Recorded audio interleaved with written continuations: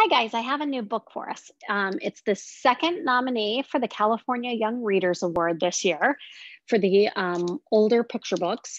And it's called Six Dots, A Story of Young Louis Braille by Jen Bryant and illustrations by Boris Kulikov. Now, if you look, you see all these dots? That is, those are the Braille letters. So people who cannot see can't read books, right? Well, Louis Braille developed an alphabet so that they could feel the letters and read the books. And this is his story. This is read with permission of Alfred Knopf Books. One day, I, on the day I was born, Papa announced me to the village. Here's my son, Louis. The neighbors came, clucking their tongues, whispering, He's too small. He won't survive. Oh, but I did survive. I was a curious child, and my eyes studied everything. Maman's gentle face, lace draping my cradle, the smooth shape of a bread of loaf on the table. I grew strong and healthy. When I rode to the bakers on my brother's broad shoulders or fed chickens with my sisters, the villagers waved and smiled. So handsome, they cried. And clever, too, my sisters said. At three, I knew everyone in Coupvray by name. I counted eggs in my sister's basket and sparrows in the trees. I repeated stories I heard word for word. Now, he grew up in France. But what I loved most was to watch Papa work. People came from far away to have a harness made or a bro broken bridle mended. In Papa's hands, the rough leather strips became smooth and useful. I wanted to be just like him. But when I reached for a tool, ne touchez pas, don't touch that, Papa warned. Then more gently, you're too small yet, Louis. Wait until you're older. Too small, those words. I wanted bigger, stronger, older. Perhaps if I showed Papa what I could do.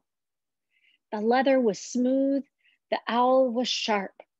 I knew just how to, Papa, Papa, Papa. My life changed that day. A healer bandaged my eye. Again, I heard, Ne touchez pas. Don't touch. By the way, this is French and I don't speak French, so I'm trying. But the bandage itched so much. My hands, like the sparrows in the trees, were small and quick. I couldn't keep them away. I didn't mean to make things worse, but I did the infection spread to my other eye until I could see nothing at all. No trees or sparrows, no faces, no lace or loaves of bread. By the time I turned five, I was completely blind. The villagers whispered, Poor Louis Braille, such a clever boy. What will happen to him now? My world was dark and dangerous. I stumbled about the house, banging into chairs, the walls, the door. My body ached. Where is the sun? I cried. But the sun did not come.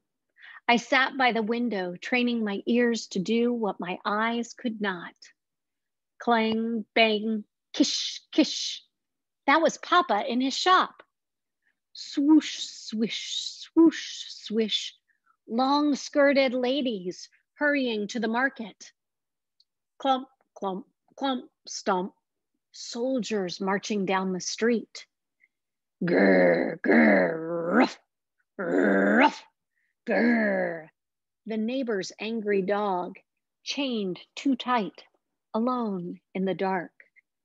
I knew just how he felt. My family did what they could. Papa made a wooden cane each day I walked a little farther.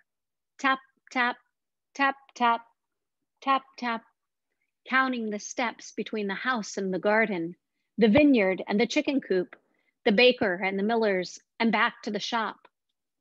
My brother taught me to whistle. And when the sound echoed back, it warned me of things in my path. My sisters made a straw alphabet.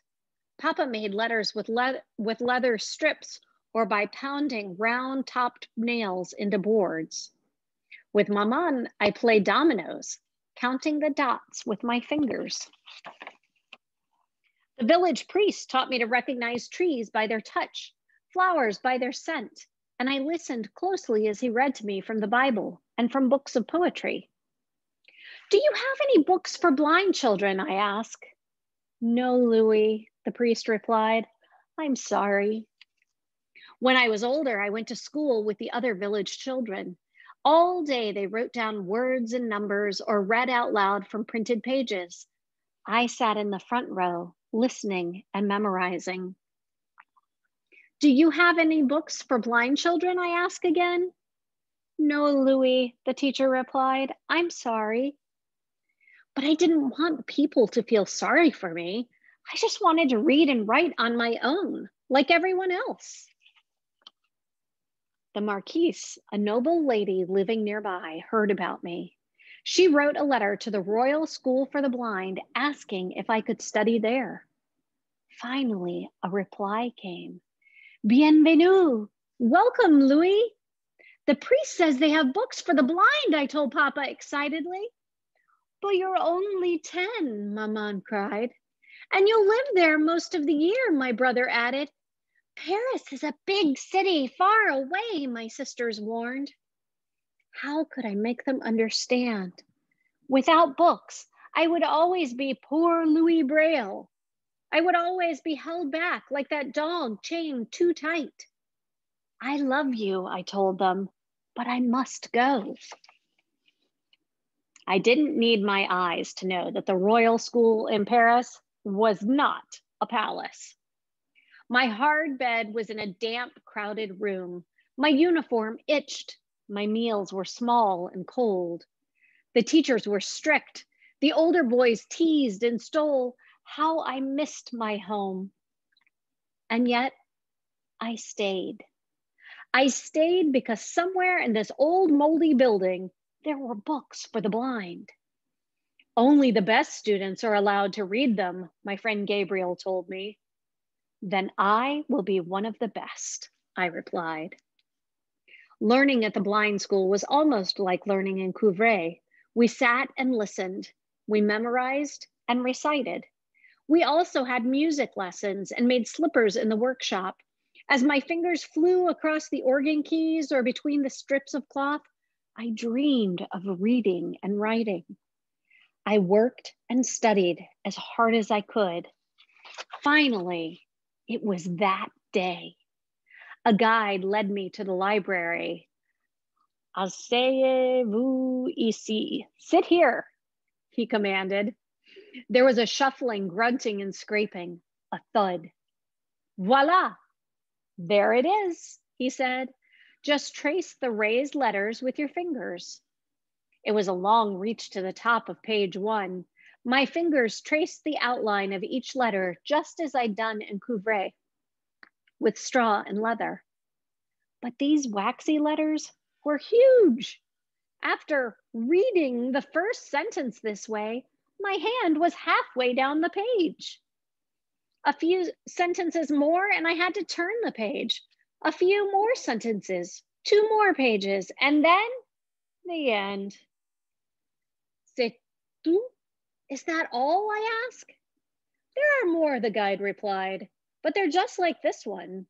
Words as large as my hand, sentences that took up half a page. I sighed. Even if I read a hundred books like this, how much could I learn? I skipped supper. I lay in bed wishing I was home. When I finally fell asleep, I dreamed that the neighbor's angry dog broke free. He ran to me, licking my face until I laughed and laughed. Louis, Louis, lève-toi, get up. Gabriel shook me awake. It was morning. The headmaster wants us. Let's go. Everyone had gathered in the big room, and Dr. Pignier spoke. A French army captain has invented a code to send secret messages during battle. The code is read by touch, not by sight, so we might use it here. You're each holding a message written with patterns of dots, the headmaster continued. Each pattern stands for a sound, sounds such as ooh or in or chish. We listened as he explained. It wasn't easy. There was a lot to remember. Flipping my paper over, I moved my fingers from left to right, feeling the dots. Fall back, I shouted. Everyone laughed. It was a battle order, of course, but now my heart pounded with hope. I asked for another. Again, I touched the dots. Supplies arrive at dawn. We, yes, the headmaster cried. The others shouted out their messages too. How are the messages written? I asked. The headmaster handed me a slate, a wooden frame with a metal piece in the middle. Slide your paper underneath, he explained. Now take this stylus, but be careful. The sharp tool was like the owl in Papa's shop. I shivered. Use it to punch the code into the paper, he said. I made a few of the complicated dot patterns and then flipped the paper to read them by touch. For many weeks, I practiced. Reading by touch using dots was a brilliant idea, at least on the battlefield. But for us, the code was so hard that everyone else in the school had given up. Even a short message takes so many dots, and I can't fit a single, single symbol under my finger, I complained to Gabriel.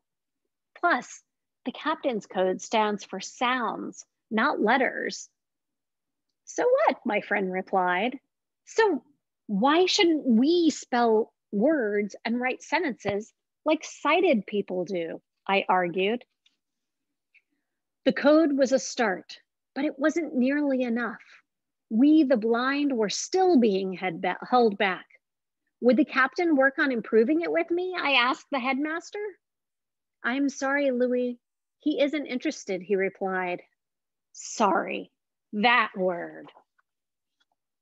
Long ago, I had watched Papa take rough leather strips and make them useful, now I knew what I had to do. Late at night, while the others slept, I bent over my slate and punched the pages. I tried hundreds of ways to simplify the captain's code. I worked until my back was stiff and my fingers ached. Often, I fell asleep a few minutes before morning. A year passed, and then another, and another. That winter, I turned 15 I was often sick, but I wouldn't rest. Finally, it was ready to test. I asked the headmaster to choose something from his own library, a book I'd never heard of before. Please read it out loud, I said. Dr. Pignier began. After a few minutes, I interrupted. You can go much faster, sir. As he read, I copied down the words, spelling each one correctly. My new code used just six dots arranged in two columns, like dominoes. Each dot pattern stood for a letter of the alphabet. Fini, said Pignier when he reached the end of chapter one. Finished. I turned my pages over. Reading by touch, I recited the entire chapter. Louis, tu l'as fait. You did it, he shouted.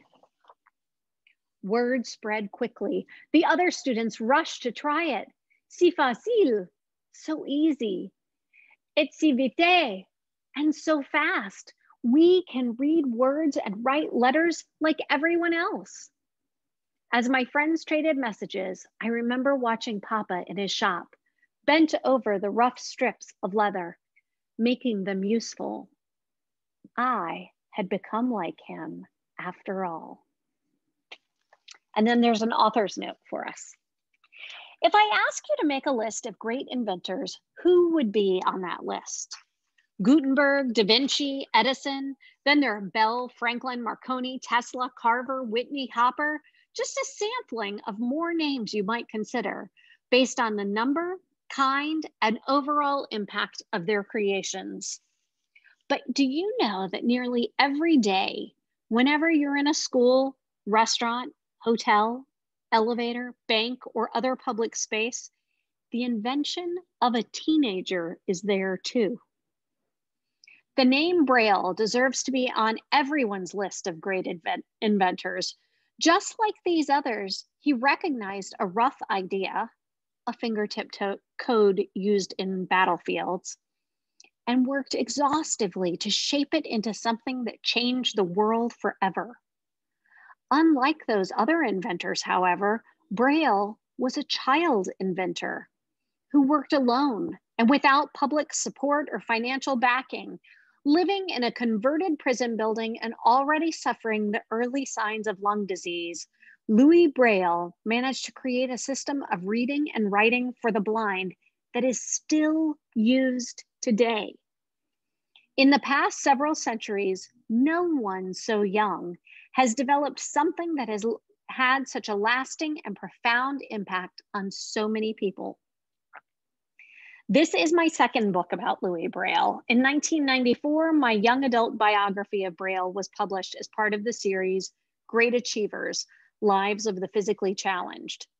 The book, that book was designed to inform, and it did so well enough, I think. But more recently, I encountered examples of the Braille alphabet in public libraries and on college campuses, in airports, and even on ATMs. I asked myself, what did it feel like to be Louis Braille? Nothing I'd read about the young Frenchman, including my own account, had led me to experience Braille's emotions. What was it like to be Louis Braille? This story is my attempt to answer these questions. There's some more detail in the back if you're interested in learning more about it. And in the front, this is the Braille alphabet. And then this card, which will stay here in the library in the book, has each of the letters and you can feel them. They're raised, the raised dots of the Braille alphabet. This book, like all of our biographies, is found in section 921 and it is alphabetized under the person's last name, so B-R-A, Braille. That is nominee number two for the California Young Readers Awards, Six Dots. I hope you enjoyed it. Pretty amazing story about a teenage inventor, and it's amazing how his invention is still in use today, every day. If you start paying attention, I think you'll be amazed everywhere that you see um, the Braille alphabet in use. Thanks so much. Bye, guys.